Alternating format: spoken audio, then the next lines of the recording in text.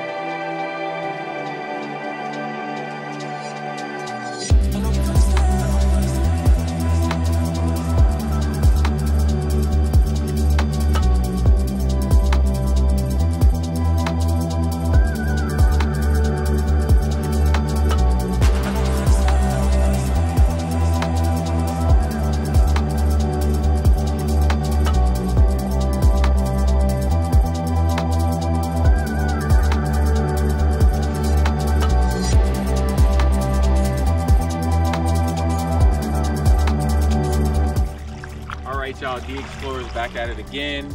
Out at Lake Mead. We're at Dick's Cove today on a nice little hazy day. We got a couple ladies that joined us today, Sarah and Aaron. I hope you guys can make it out next time with us.